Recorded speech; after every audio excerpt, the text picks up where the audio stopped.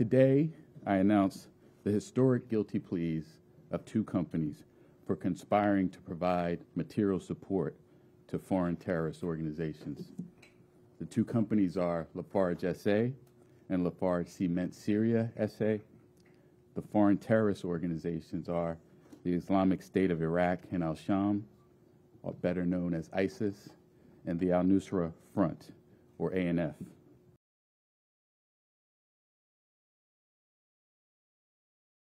In the summer of 2014, the world watched in horror as ISIS murdered innocent journalists and aid workers. That same summer, Lafarge was in business with ISIS, securing profits and market share and capitalizing on the group's brutality.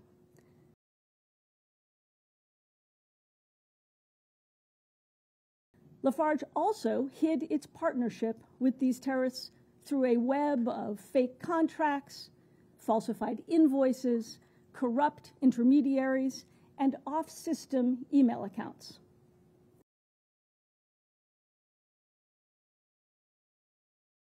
These are the first companies ever charged by the Justice Department with providing material support to foreign terrorist organizations.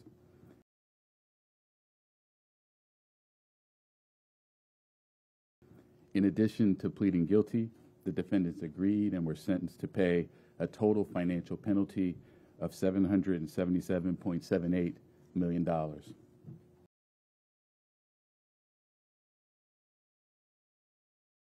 Today's events show that corporations are no different from individuals. If you fund terrorism, you will face the consequences.